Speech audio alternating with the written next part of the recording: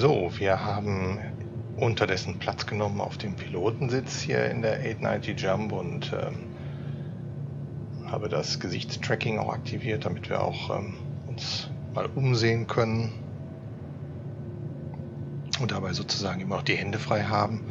Ja, wir wollen mal ein paar Meter fliegen. Ich äh, gehe nochmal in die Außenperspektive. Auch hier sehen wir wirklich nochmal, was das für ein riesen Koloss ist, die 890. Das ist schon wirklich ein tolles Schiff. Da wird der Außenposten richtig klein. Man könnte fast meinen, den ganzen Außenposten kann man hier locker reinpacken. So. Ich hoffe, dass es geht mit dem Fliegen. Äh, nicht, weil das grundsätzlich ein Problem ist, sondern weil neben mir immer noch eine Katze sitzt. Engines active. Jawohl. So. Die Triebwerke fangen an zu feuern.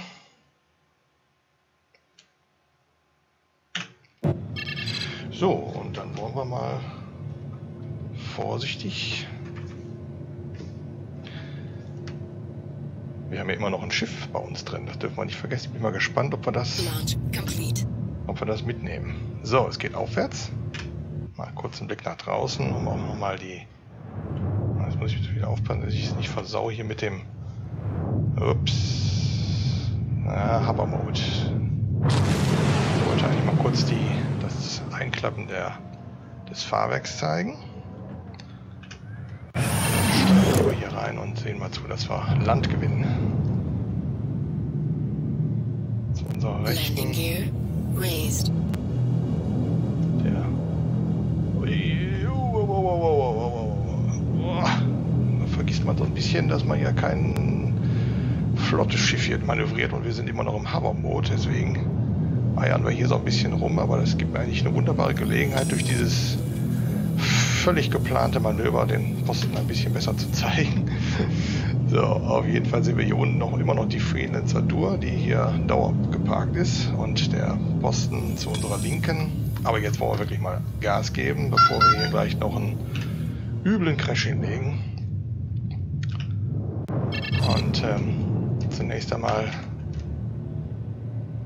den Speed ein bisschen erhöhen, damit wir diesen Hover-Modus endlich mal deaktiviert bekommen. So. so, das ist jetzt passiert. Wir sind im normalen Flugmodus.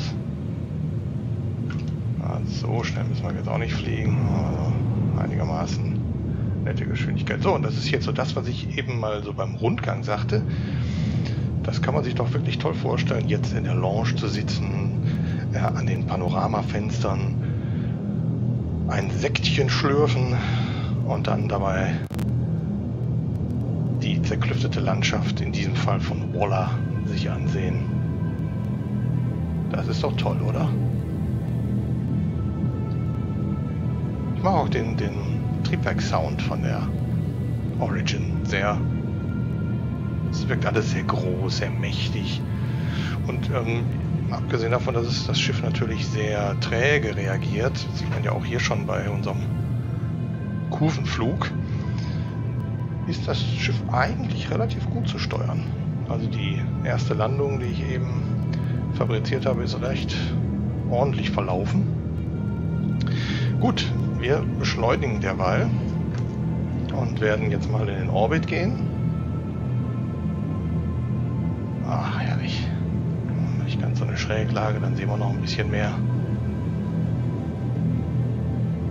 Man sieht natürlich, dieses Schiff driftet ja immens, enorm, weil es eben halt sehr träge ist, sehr groß ist, sehr viel Masse hat. Aber wie gesagt, unterm Strich ist es relativ gut. Gut, unter uns sehen wir den Schatten. Schau mal. Wir geben natürlich jetzt auch ziemlich Gas. Flughöhe knapp 5 Kilometer bereits. Jo, und jetzt würde ich aber sagen, und wir haben immer noch diesen dämlichen Chat da wieder drin. Den möchte ich eigentlich nicht haben. Wir gehen jetzt in den Orbit. Einmal aufwärts.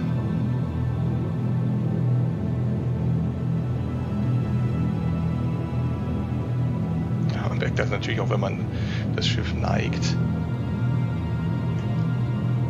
Und das ist natürlich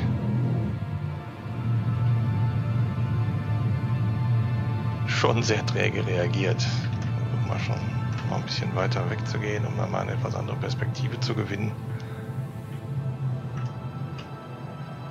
Tja, so sieht das aus, wenn die 890 in den Orbit aufsteigt. Also, äh, wenn man jetzt böse ist, dann würde man sagen, sie erinnert so ein bisschen an Bügeleisen. Aber wir sind ja nicht böse. Ein kolossales Schiff, ganz klar. Ach, guck mal, hier kann man sogar reinsehen. Man sieht die Treppe, das Atrium. Mal richtig reinschauen. Jo, okay. Und was ich jetzt noch vorhabe... So, wir düsen also jetzt runter, runter irgendwo hin. Was wir jetzt mal machen, ist, wir werden jetzt einfach mal irgendeinen Punkt anvisieren. Na, nehmen wir mal hier den hier. Ach was, wir machen es anders. Wir machen es anders. Wir simulieren jetzt mal ein, die Situation. Das nehmen wir mal an. Wir haben ja immer noch unser Schiff an Bord. Jetzt wollen wir noch mal gucken, ob das alles so funktioniert. Im Idealfall. Wir sind jetzt bereits im Orbit um Orla und werden jetzt mal kräftig auf die Bremse treten.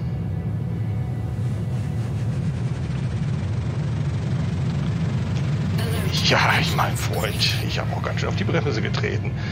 Ist er schon am Überhitzen. Das war ja wieder klar. Dann wollen wir es mal auf eine andere Weise machen. Ich habe das Gefühl, dass es auf, oder ha, habe für mich festgestellt, dass das dem Überhitzen der Triebwerke ganz gut entgegenwirkt, wenn man einfach den Drift nutzt und einfach die Nase umschwenkt, auf Gegenschub geht und dann kann man sogar den Booster aktivieren. Man bremst eigentlich viel effizienter ab, als wenn man den die sogenannte Weltraumbremse verwendet. So, wir sind jetzt fast bei Null. So, da sind wir jetzt und jetzt machen wir eins. Wir machen die Triebwerke aus und steigen aus. So, wir sind also jetzt sozusagen in einem Orbit über Walla. Verlassen die Brücke. Kapitän verlässt die Brücke. Die übrigen Reisenden bekommen nichts mit. So, jetzt muss ich mich erstmal wieder kurz orientieren. Wir wollen nämlich jetzt äh, genau einen der Lifte aufsuchen. Bitte auf. Äh, und da gehen wir nämlich jetzt den speziellen Crowlift in den Crowlift und zwar jetzt runter in den Hangar. Äh, nicht Spa, da sind wir doch schon. Hangar. So. Einmal abwärts bitte. Und da geht's raus. Ich mal eben wieder kurz überlegen. Ich glaube zum Hang nee, das Cargo. Also zum Hangar geht's hierher. Und da steht ja immer noch unser Origin. Und wenn jetzt alles gut geht,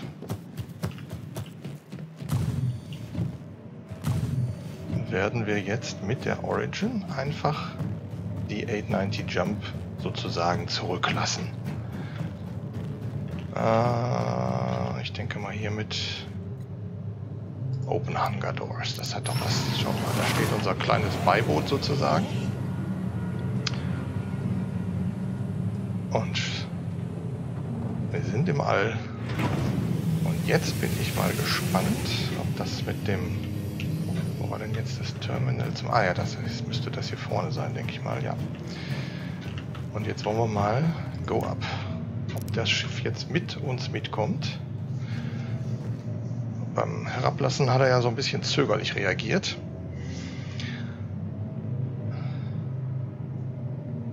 Wir brauchen noch ein bisschen. Aha. Okay. Klingt ein bisschen ein. Oh, oh, oh, oh, oh.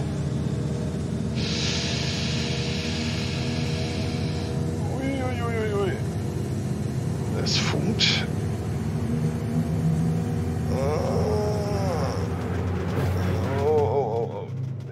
Glaube, das ist unser, unserem Beiboot aber nicht gut bekommen, diese Aktion.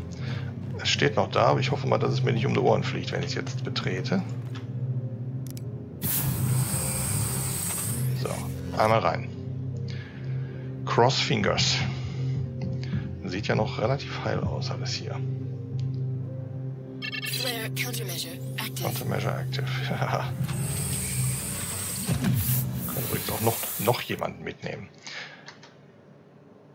Shield system Hoppla. inactive. Sie war ja noch an, hatte ich ganz vergessen. Origin jumpboards at your service. Core system Engines on. So, die Engines sind on. Jetzt sieht das ja alles ganz gut aus.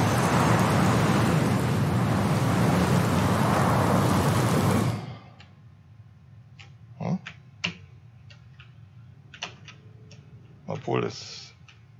Na gut, wir versuchen es mal. Aha. Complete.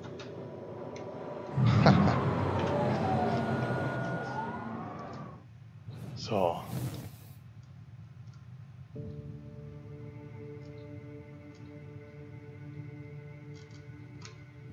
Und wir sind im All, haben also den Planeten, den Mond verlassen mit unserem großen Luxusdampfer und unsere schicke kleine 85X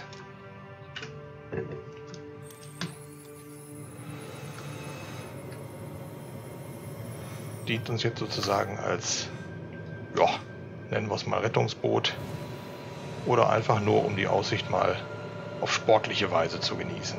So, und hier haben wir also unser Mutterschiff sozusagen, mit dem wir den Mond verlassen haben.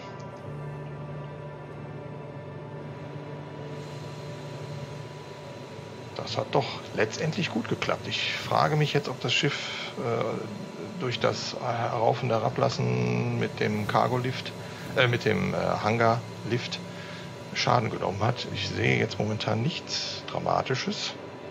Vielleicht war das auch einfach nur ein theatralischer Effekt.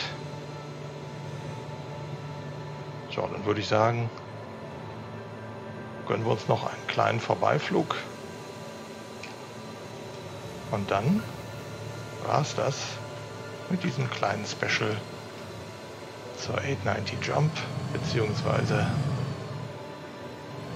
diesem kleinen Flitzer der 85X, die sich offenbar ganz gut als Beiboot eignet. Adios, see you in the verse.